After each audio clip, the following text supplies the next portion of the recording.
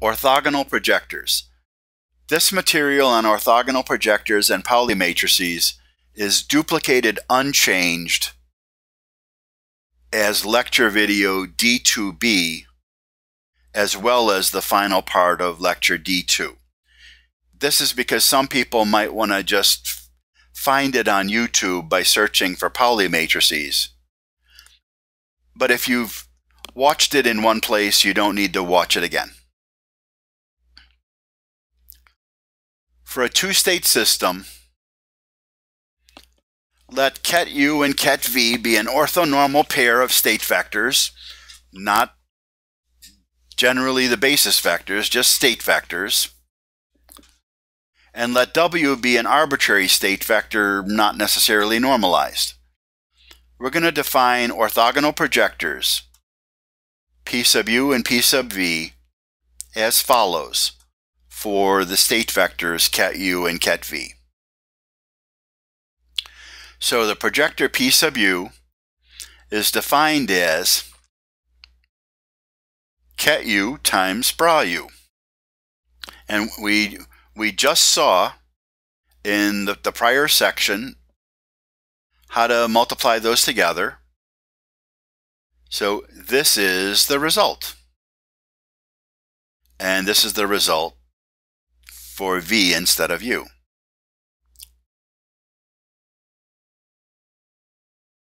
Now, U1, U1 star, that's magnitude of U1 squared, that's a real number. U2, U2 star, also a real number. Notice that these other two, they are complex conjugates of one another. U2 is unconjugated here and conjugated here. U1 is conjugated here and unconjugated there. So they're complex conjugates of one another. So every projector is a Hermitian operator and so it is an observable. I believe that the sum of these two projectors, P sub u plus P sub v, equals the identity matrix because u and v are orthonormal and overall phase is arbitrary. Let's see what the, the P sub u projection of of or on or onto state vector ket w would be. So projector P sub u operating on ket w. P sub u is an operator. we could put it to the left of a ket and that, that operates on the ket. So P sub u is ket u bra u, and that's going to operate on ket w. Well, that's the same, that's identical to bra u and the inner product of u with w. That's what this bra and this ket do. They produce this inner product. And once we see that it's an inner product, it's just a number, and we could move the number to the left of the ket if we want. So we get this inner product, this number, times ket u. So this, this is a state vector parallel to ket u with a magnitude and sign equal to the amount of u that is in w, their overlap. If u and w are orthogonal, no overlap, the projection will be zero. The inner product will be zero, the projection will then be zero. If w is uh, some complex number times u, then when we plug, then the inner product is going to be um, alpha, and the projection will be alpha times ket u. We will use these projectors in uh, the Pauli matrices and in the next lecture, D3 on spin 1 half states. This is a possible time to take a break. Pauli matrices. We introduced them earlier, sigma 1, 2, and 3, Pauli matrices. If you're comparing against some other material, a book or a class, you, you might see, probably will see the subscripts as being x, y, and z instead of 1, 2, and 3. That, that is true for the specific choice of basis vectors as z plus and z minus for a spin 1 half problem. And we will use this in lecture D3 for spin 1 half particles. But here we're talking about gen general generic two-state systems. So we haven't, we, we said our basis vectors will be orthonormal, but we haven't chosen any directions in space. So we should stick with 1, 2, and 3, not X, Y, and Z. Now, a lot of books and classes, they teach you spin 1 half first.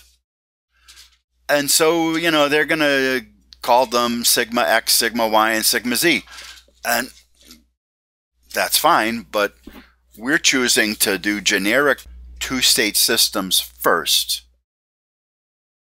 So we're using 1, 2, 3 not XYZ at this point.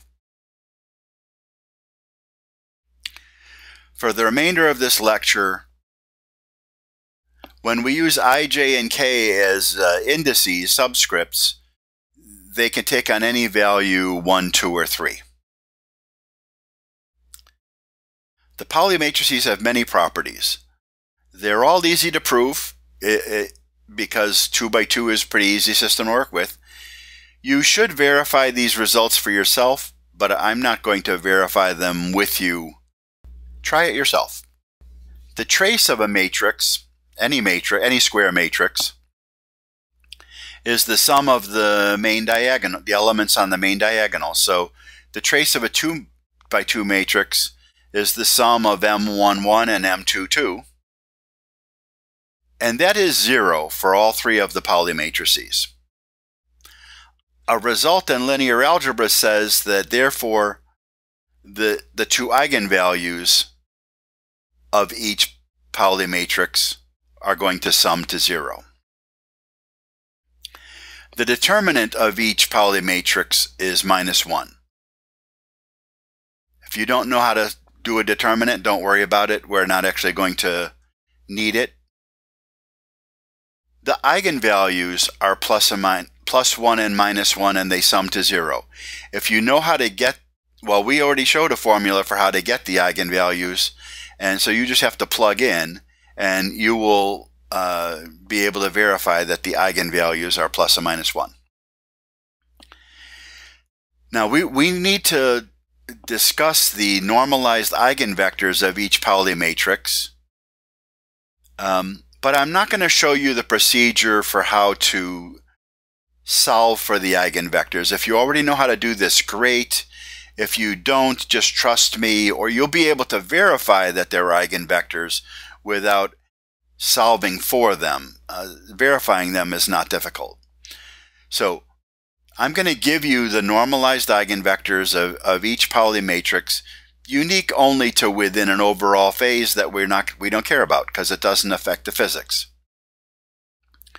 So in the following table, we're going to associate 1 with x, 2 with y, and 3 with z only to anticipate that we want to use these results in the next lecture, D3, on spin 1 half particles. Though if, if we're not talking about a spin 1 half particle, we should just stick with 1, 2, 3. Now beware, here we're going to use ket 1 and, and, and uh, ket 2 but here, 1 and 2 mean the first and second Pauli matrix. We don't mean the first and second basis vectors of the two-state system. So don't confuse that. This is a possible time to take a break. For Pauli matrix sigma sub 1, which for spin 1 half is, is sigma x, it has two eigenvalues, plus 1, minus 1, no surprise. I'm going to tell you that the normalized eigenvector for the plus 1 eigenvalue is has this representation 1 over square root of 2 times the column vector 1 1 in our choice of basis. And we give that the name, the ket name 1 plus or x plus. Now, you could verify this. You, you could take this matrix and multiply it to the left of this vector, and you would get out this vector unchanged, which is to say this vector times plus 1. So you could check that this is a correct eigenvector without knowing how to find it in the first place. Now, I'm, we're going to use, for the minus eigenvalue, we're going to use this eigenvector. 1 over square root of 2, 1 minus 1. If you were to take this matrix times this vector, you would get this vector out, but multiplied by minus 1. It is true, and you should verify, that the x plus and x minus eigenvectors are normalized and they are orthogonal to one another. Now, for sigma 2 or sigma y, eigenvalues plus or minus 1, the y plus eigenvalue, 1 over square root of 2, 1i, the y minus eigenve eigenvector, 1 over square root of 2, 1 minus i. These two eigenvectors are normalized and they are orthogonal to one another. Not orthogonal to the x ones, but they are orthogonal to one another. Sigma 3, sigma z, eigenvalues 1 and minus 1, eigenvectors 1, 0 and 0, 1, which we call z plus and z minus. These, this, these pair of eigenvectors, they are normalized and they are orthogonal to one another, not to x or y, but to one another. Notice that the two eigenvectors of a Pauli matrix are orthogonal. Now that we have the eigenvectors, we can, if we choose, rewrite the Pauli matrices in terms of the difference of orthogonal projectors as follows. And we'll use the x, y, and z notation, not the 1, 2 notation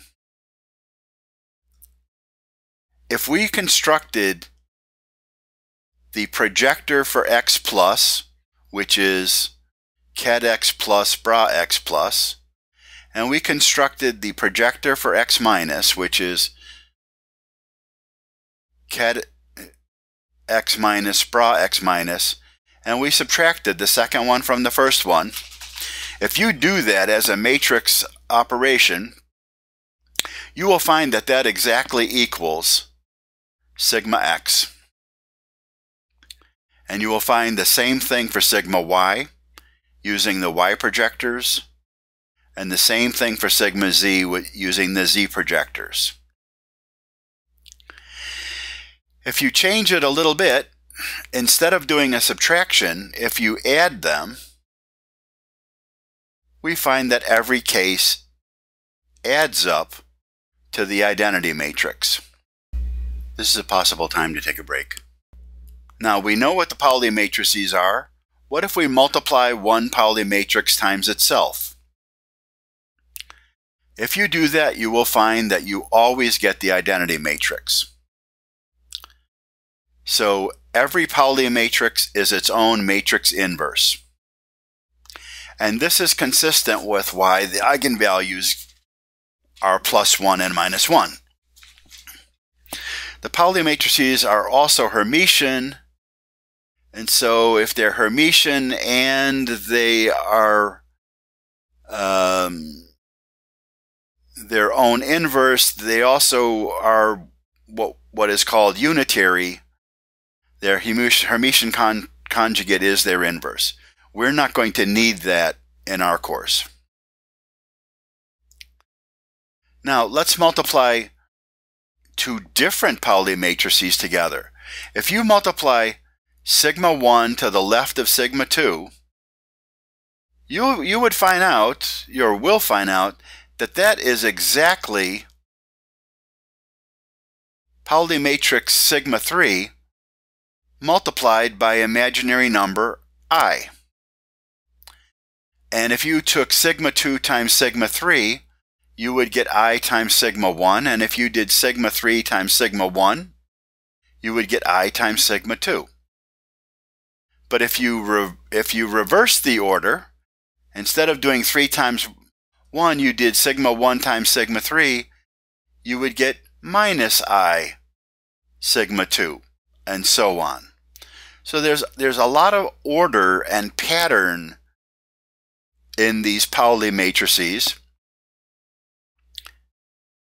And it, it directly relates to angular momentum. We don't know that yet, but it does. We can, we can uh, there's a shorthand for writing all six of these in one equation. Um, at the shorthand requires you to learn something new, you could say, well, why do I want to learn that? Why don't I just use those six? Either way, if you want to know the shorthand, you will see it in books. Every book that shows you the multiplication of Pauli matrices will show you this shorthand, so I might as well show it to you. Let i, j, and k be any elements, you know, uh, of 1, 2, or 3. If you multiply Pauli matrix sigma sub i times Pauli matrix sigma sub j.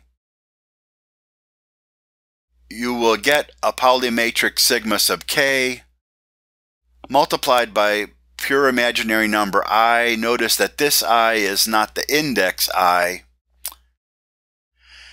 But then there's this funny symbol, epsilon ijk, which is called the Levi-Civita symbol the permutation symbol, the antisymmetric symbol, or alternating symbol, and it has this rule. Epsilon ijk is plus 1 if ijk is 1, 2, 3, 2, 3, 1, or 3, 1, 2. It's minus 1 if ijk is 1, 3, 2, 3, 2, 1, or 2, 1, 3. It's 0 if any of them are repeated, i equals j, j equals k, or k equals i. So the value is plus 1 for even permutations of 1, 2, 3. 1, 2, 3, if you shift, if you rotate them 1 to the left, you get 2, 3, 1. If you rotate it uh, uh, once again, you get 3, 1, 2. It's minus 1 for odd permutations, and 0 if any index is repeated. Now, if you want to say, no way am I going to remember all that, just so that I can write six equations as one, but then I have to remember this funny symbol. If you don't like this symbol, that's fine. You're not going to need it for this class. But if you were to look at a book or another class, you would definitely use that symbol. That's how things will be written. So beware that, you know, that unsubscripted I was not an index or a subscript, it was the imaginary unit. You could say, gee, we shouldn't have used i as an index or a subscript if we knew we were going to use i as a imaginary number to avoid confusion, except everybody does it this way. So every book will do it this way. So that's the way you need to see it. I wouldn't be doing you any favors if I didn't call it i, because then you would look in a book and you'd be confused. This is a possible time to take a break. The commutator of a and b, which we write as square bracket a comma b square bracket. The commutator of two operators a and b is defined as ab minus ba. The commutator of Pauli matrices sigma i and sigma j, using the, the work we've already done, the commutator is commutator of sigma i with sigma j is 2i epsilon ijk sigma k. So we don't have to write out six commutators. that one formula tells us how to do the six commutators. We just have to remember how to do the epsilon.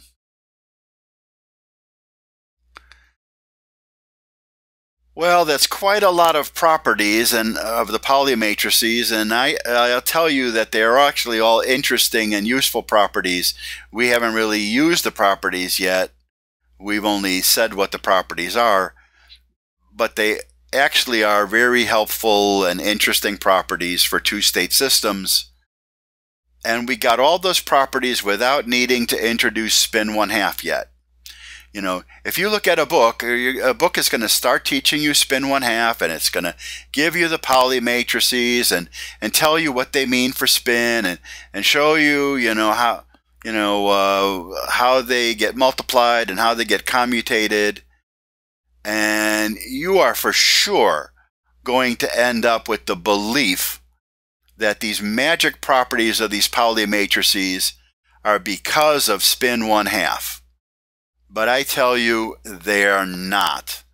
They are properties of two state systems, and spin one half is only one two state system. Probably the most important two state system. But the, the properties of the Pauli matrices do not come from spin one half. The properties of the Pauli matrices help us understand spin one half. We will use these properties of the Pauli matrices in the next lecture, D3, on spin one-half particles. This is the end of lecture D2.